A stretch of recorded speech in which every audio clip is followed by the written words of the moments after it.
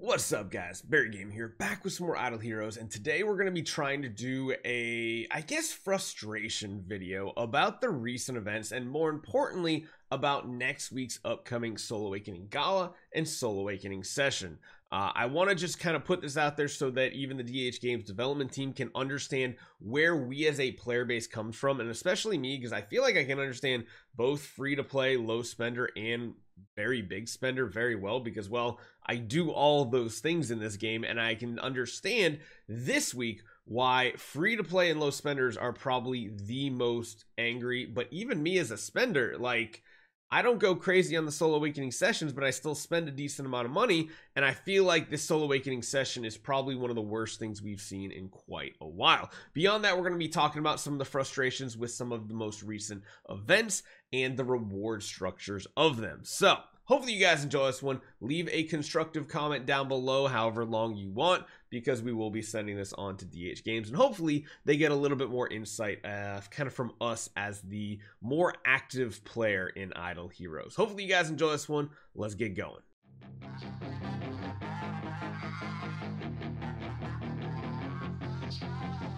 So let's immediately start out with the good because I, I feel like everybody in general would say they appreciate this. The fact that we never had a 200 point tier item in the Soul Awakening Gala always felt a little bad because you go to like 150 normally if you want the half sublimation chest, uh, and then you went to 200 for the Gala, but then you didn't get anything really out of it besides the session portion of it. Sorry, yeah, the session.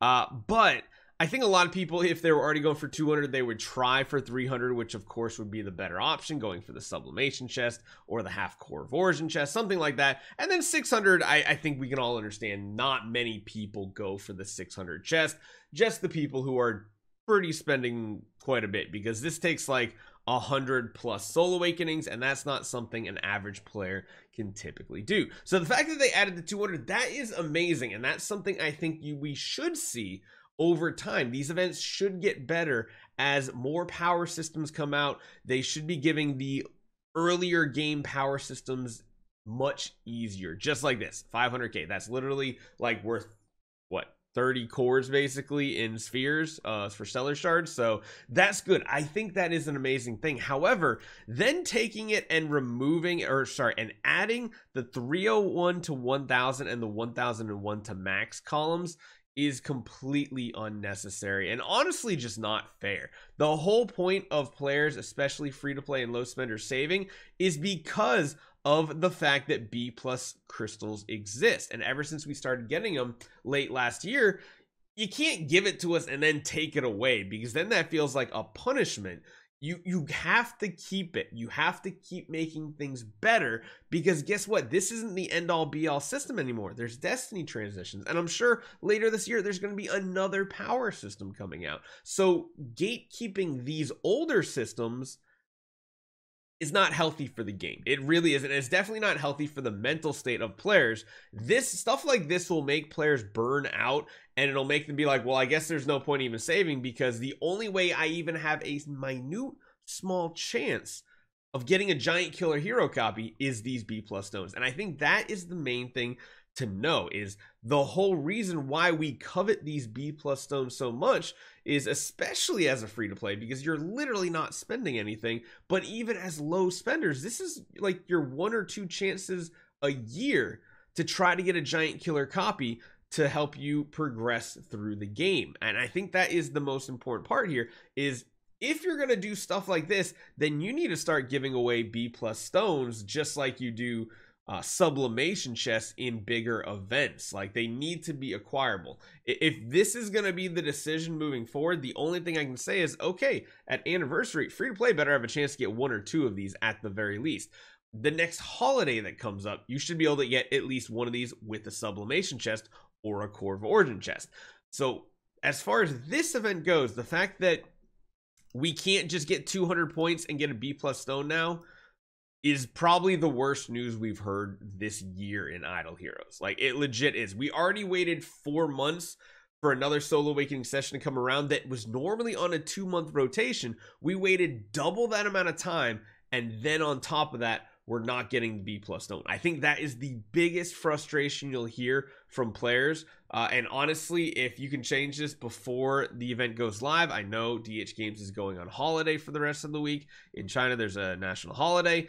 If you can get rid of these bottom two tiers before the event goes live, that would honestly give so much faith restored back to the community, especially the more loyal community. Because let's be honest people who watch videos who are on reddit we're a small portion of the community of the overall idle hero gamers but we are the most passionate and honestly probably some of the more most spenders i would have to say out of the community. So even if it means getting rid of this 200 point mark here if you want to revert this go get rid of the 200 point mark but get rid of these bottom two tiers i think everybody would be fine with that. They would be perfectly fine.